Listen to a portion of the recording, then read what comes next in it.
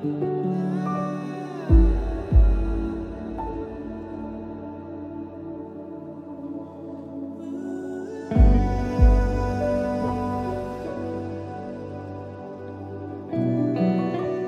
guys, in this video I'm going to show you this unique lens that I've got from Sirui.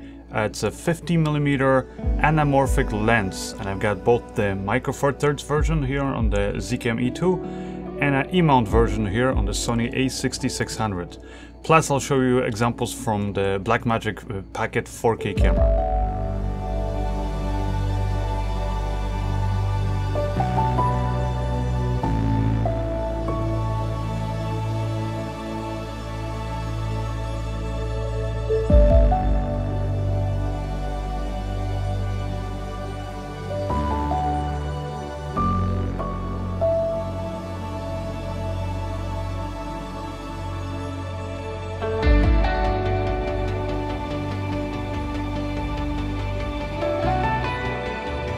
So let me kind of quickly introduce this lens to you, which I did already show some brief tests from this in one of my previous videos.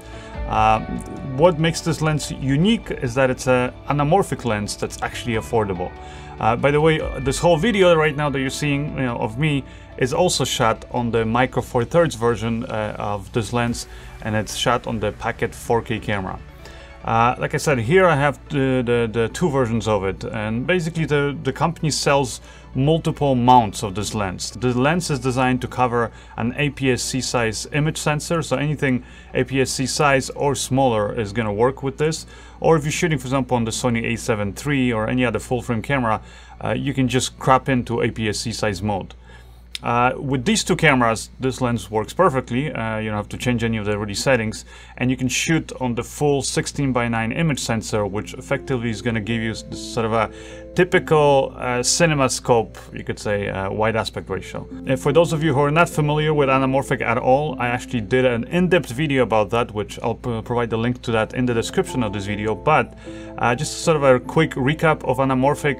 Basically, shooting anamorphic allows you to capture a wider uh, field of view and it also produces uh, the sort of that widescreen aspect ratio. Now, of course, if you want to get that wider aspect ratio without losing the resolution or the pixels on the top and bottom of, of your image sensor uh, of your camera, then best way to do it is to use uh, anamorphic lenses such as this one, because what this effectively does is it captures a wider field of view and then it squeezes it uh, so that it can actually fit on a more sort of a square aspect ratio. And now the lens, when you just look at it, uh, if you know anything about anamorphic lenses, you'll note that this is surprisingly small and actually very light. Now another really unique thing about this lens is the price, which right now it's around uh, five, six hundred dollar price range. You guys can check the link in the description of this video uh, to, to see for the different options that you can get and the prices. Um, and, and if you just think about that price, I mean, that price for a lens that's uh, this small, it's a nice 50 millimeter cinema style kind of a built lens, meaning it's all fully manual and it's uh, suited perfectly for shooting video. Uh, and also a lens that's fairly fast. This is an f1.8. In video, it's especially helpful to have a fully manual and smooth uh, turning uh, aperture ring here that allows you to change smoothly the aperture on the go. And then the same thing with uh, the focusing. It's fully manual and you have a nice ring that uh, allows you to really kind of dial in the focus that you want. Uh, so even if you're manually focusing this lens, it's easy to kind of hit the marks. So all those things combined just make it a really great deal of a lens. And it's a lens that's nice and sharp.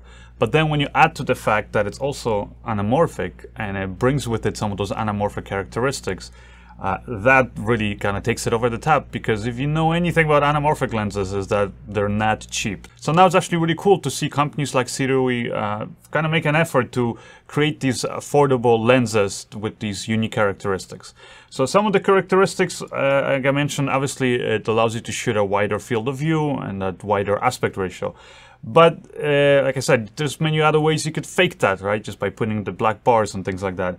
Uh, one of the other really kind of unique characteristics about anamorphic lenses is the bokeh that it creates. Uh, because of the oval optics in the lens that kind of squeeze the image, uh, you're going to see kind of those stretched and egg-shaped like highlights. And when you look at this lens, it produces really nice, uh, kind of even looking but also stretched anamorphic bokeh.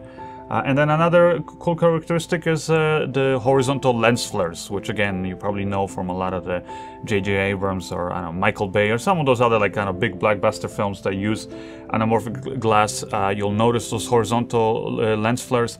Some people like them, some people don't. This uh, lens produces those flares. Now, when actually talking about the flares that this uh, lens produces, because when I did show my first test that I shot with the Micro Four Third version of this lens, uh, a lot of people complained that the flares were, first that they were too strong and also that they were crooked. And that's because this version of this lens that I got was like the early, early pre-production model and it just wasn't finalized and didn't have all its little quirks yet adjusted.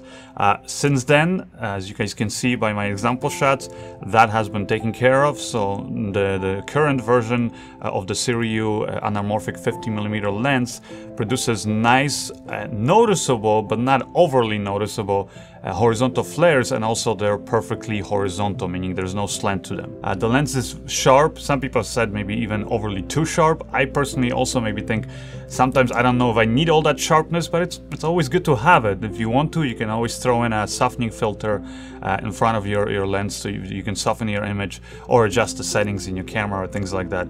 But it's always good to have a nice sharp lens because you can always make a sharper lens less sharp, you can really go the other way around. If there's maybe one thing that I would ask Sirui to maybe kind of uh, do an update to is to maybe create a Canon EF mount version because personally that's the mount that I like them the most. Uh, but like I said, they offer this in various other mounts already, so chances are there's already a version of this lens for your camera. It's a lens that's just small, affordable, easy to use, and yet it produces a really cool cinematic image.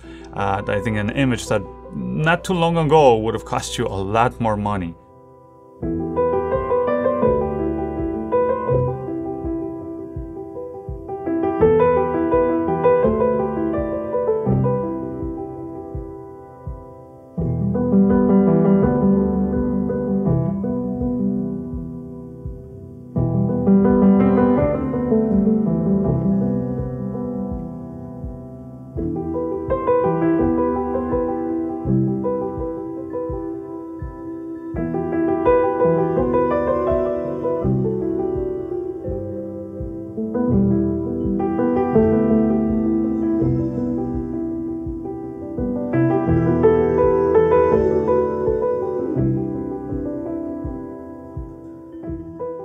So overall, I think it's amazing that Sirui has released this lens and has released it in all these different mounts. Because of that, I think it's it's going to be a lens that's going to be used by a lot of up-and-coming filmmakers or you know video enthusiasts, people who want to experiment with anamorphic and couldn't necessarily before afford to get into anamorphic can now get this and they can pretty much use it on, on most of the cameras out there because of all the different mount versions of this lens.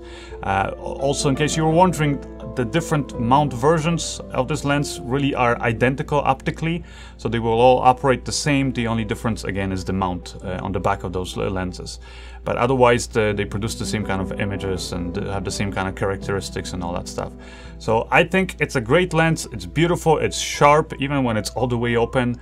Uh, and it also produces those really cool anamorphic uh, kind of characteristics like that oval bokeh, the nice horizontal lens flares, and of course the wider aspect ratio. And because it is a 1.33 squeeze aspect ratio, it means that again it's going to work with all the cameras out there that are right now shooting usually 16 by 9 uh, aspect ratio because you know with some of the other anamorphic lenses that are for example 2 times or 1.8x uh, means that you really do need a camera that has a dedicated anamorphic mode.